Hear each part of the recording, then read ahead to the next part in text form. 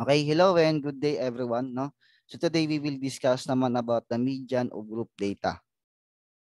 Okay, the median of group data, no? So we will use this formula no, to compute for the median of group data wherein yung L sub m natin here is the lower boundary of the median class. Your n is the total number of frequency. Your C CF sub p is cumulative frequency for the class interval preceding the median class. And then f sub m naman is yung frequency of the median class. Okay?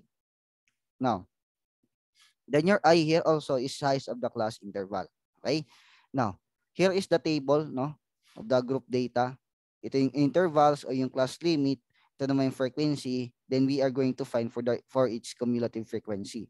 Now, since dito yung uh, pinaka mababang class natin no from 0 to 4, mag-start tayo dito sa top no for the for each cumulative frequency. So we have here 5 plus 3. So 8 dito. Then 8 plus 7, we have 15. Then 15 plus 9, we have 24. Then 24 plus 10, we have 34. Then 34 plus 6, we have 40. Okay?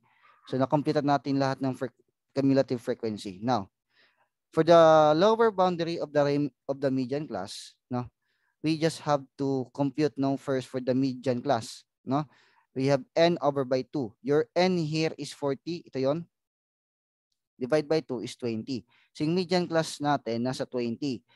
Okay? Sa banda dito kasi si 24 nung nandiyan si 20 na. Okay? Hindi pwede mag-15 kasi hindi pa abot kay 20. Okay lang lumagpas ng konti. No? So we have here, nandito yung median class natin. Now kung ito yung median class natin, no, ang gagawin natin to find the lower boundary is to add 14 and 15 here. No? Over by 2. 14 plus 15 is 29. Divide by 2 is 14.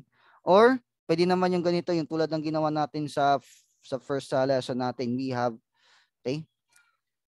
Ito na kasi yung ano natin eh, yung yung median class natin, no? So kulayan natin, no, para makita niyo median class. Ito yung median class natin, hahanapin natin lower boundary. So to find the lower boundary, we have lower boundary, I mean lower limit minus 0.5. Okay? Lower limit minus 0.5. Okay? Is equal to Okay? What is the lower limit of the median class here? Ito, 15. 15 minus 0.5, that would be equal to 14.5. Parehas lang. No? Parehas lang. Parehas lang yung ano natin, yung yung sagot. It's up to you kung anong formula ang gagamitin.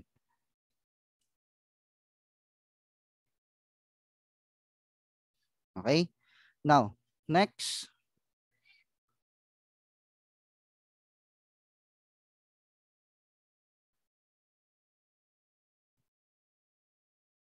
Next, yung uh, n naman natin, total number frequency, madali lang. Ito naman na yun, nasa frequency cumulative frequency naman na siya. So n is equal to 40. Next, yung CF, CF sub P is or yung uh, cumulative frequency for the class interval preceding the median class natin is, okay, yung nasa top, no? Yung hindi pa abot sa ano, yung pinaka-close doon sa median class pero hindi pa abot or lalagpas sa median class mismo. And that is 15. Okay, hindi pwedeng 34 kasi sobra na tayo sa median class. Okay? Nagpas na tayo sa kalahati. Kaya nga mid eh, kalahati. Okay? So yung hindi mo naabot pero close doon sa sa median is 15 na cumulative frequency. Next, yung frequency naman of the median class no, ay itong 9, no? Okay. And then yung yung uh, yung uh, size of inter class interval, no? Yung interval natin here, bilangin natin, no? Kahit ito lang, isang class lang, equal naman lahat 'yan eh. Repress naman sila ng interval. Ito bilangin natin. 0 to 4, 0, 1, 2, 3, 4. So ilan lahat? We have 5. Okay?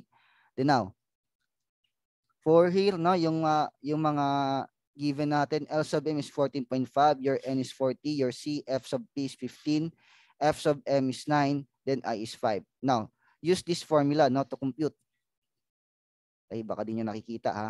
We have X equal to L sub M plus N over by 2 minus C F sub P times I over by F sub M. Substitute your L sub m to 14.5, your n naman to 20, I mean to 40 divided by 2 minus your C, F sub P natin is 15 times yung I natin is 5 all over by your F sub M is 9. Now, 40 divided by by 2 is 20, no? Minus 15 times 5 divided by 9. We have 14.5 plus 20 minus 15 is 5 times 5 divided by 9. Then again, 14.5 plus 5 times 5 is 25 divided by 9 is equal to 2.8. 14.5 plus 2.8, that would be equal to 17.3. So ito yung magiging median natin. Okay? So madali lang. Now, let us have an exercise. Below is a frequency distribution of scores of 30 students in mathematics. Compute for the median. Now, No need to compute for the cumulative frequency kasi nga given na dito. No? Diretso na tayo sa formula. Your L sub M here is equal to 30. Ito yung median class natin. No? May shaded part na. Okay? So, uh, diretso na tayo dito. No? 30 plus 31 divided by 2 plus n over by 2. No? Your, your n is 30. No? Divide by 2 minus your CF sub p is 9. Yung uh, preceding. No? And then yung i natin is 5, no? Because 6 to 10, no? 6, 7, 8, 9, 10. So we have 5 as a class interval over by yung f sub m natin is 6, which is the infrequency of the median class. Now 30 plus 31 is 30, I mean uh, 61 divided by 2 is 30.5. 30 divided by 2 is 15, minus 9 is 6 times 5 is 30, divided by 6 is 5, plus 30.5, that would be equal to 35.5. Ito yung magiging media natin. Okay? Next.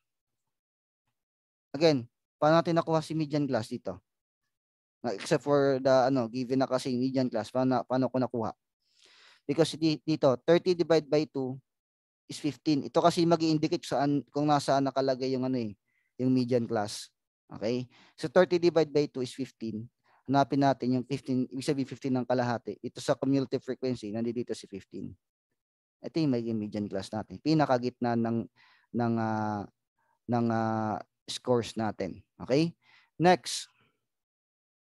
Below is the frequency distribution of the points contribution per player of the final four teams in 2011 to 2012 NBA Finals. Okay? So again, given na yung, uh, yung class intervals natin, frequency at saka yung fre cumulative frequency. Okay? So all in all in frequency, we have 60. No? Substitute na natin. Ito yung median class natin. Why? Because 60 divided by 2, we have 30. So nasaan si 30? Nandito kay 35. Sa pinaka-close. Di pwede kay 26, malayo si 30 kay 26. Ito na kay 35. Tsaka kung di pa abot ng, di pa kalahati si 26 eh. Now, Okay? What is your L sub M? We have 2.7 plus 2.8, no? Divide by 2 plus your N is 60 divided by 2 minus yung CF sub P natin is 26 is from here yan times yung I natin is 2.8 no? Paano naging 2.8? Hmm? Yung class interval natin paano naging 2.8? Actually, di ata 2.8 yan eh. 0. Point, uh, check. Baka nagkamali ako.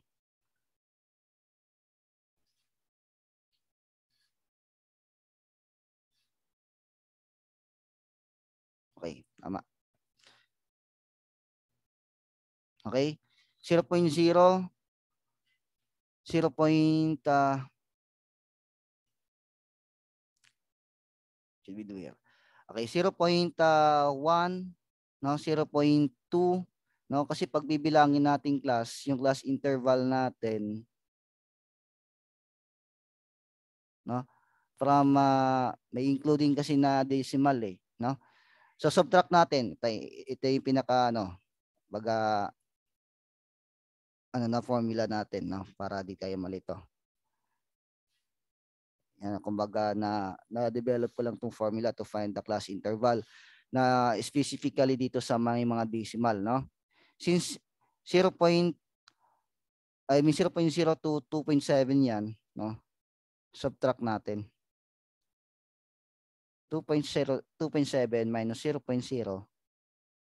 no is equal to 2.7 plus 1 that would be equal to 2.8 no can you see my ano my formula here okay ito yan ha kaya naging 2.8 yung i natin dito okay okay paano ko nagawa na na come up itong for, itong formula na to okay tinulad ko yan dito Try natin dito. Diba dito 5 yung interval, no? So try natin. From here, 10 minus 6 no, is equal to 4 plus 1 is equal to 5. That's why 5 din dito. Subtract, then plus 1. Okay, ganun ang ano, ha? Subtract, then plus 1. Okay? Then now, balik tayo.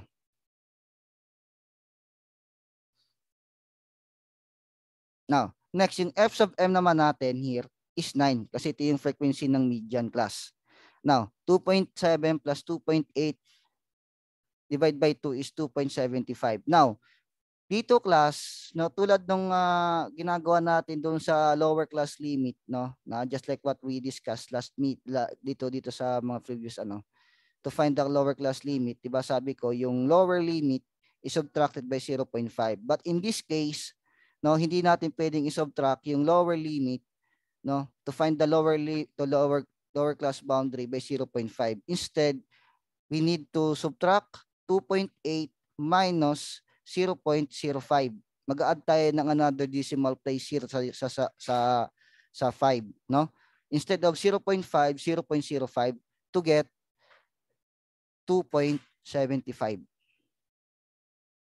or if eh, kung na-confuse kayo you can undergo with this uh, you can use with this uh, no, solution no? Pwede niyo gamitin tong solution na i-add natin tong uh, upper limit ng uh, preceding class at saka yung lower limit ng sumunod na class no yung ng median class or kung na-confuse kayo no every decimal mag-add ka ng another decimal place dito kung whole number yan 0.5 lang pero kung uh, may decimal one decimal place 0.05 ngayon kung kung maging 0. I mean 2.08 yan, isusubtract mo siya sa 0.005 ulit. No? Ganun ang technique diyan. Okay? Now, punta tayo sa ano. Okay, burahin ko na to ha. Now.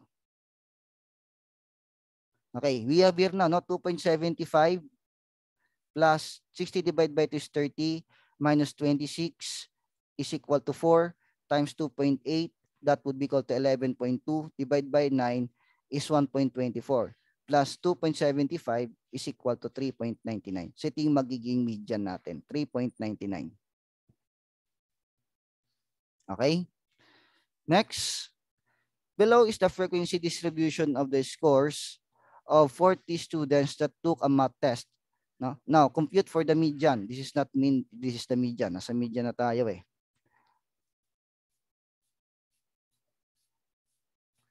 Now, okay, so ito yung median class natin, no?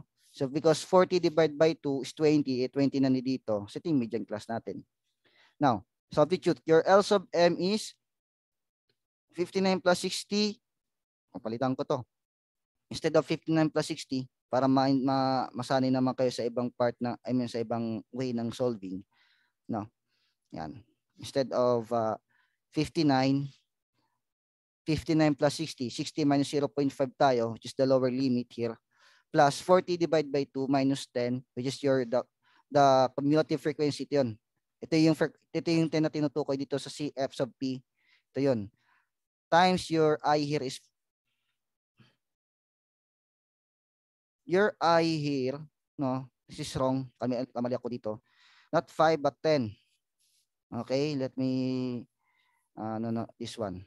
Baga, kasi 40 to 49, no? Pag binili natin yung 40, 41, 42, 43, 44, 45, 46, 47, 48, 49, we have 10 as the class interval. So 10 here. Okay, 10 here.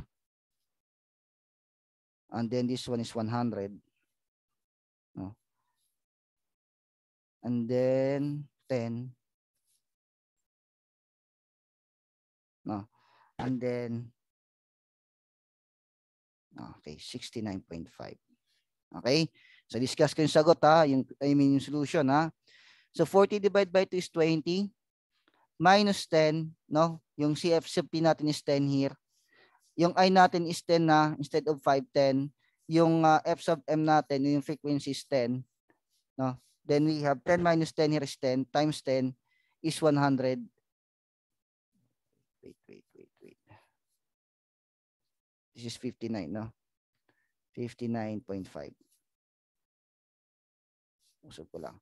Then, 100 divided by 10 is 10 plus 59.5 is 69.5. Okay? So, ito yung magiging cumulative, I mean, yung media natin is 69.5.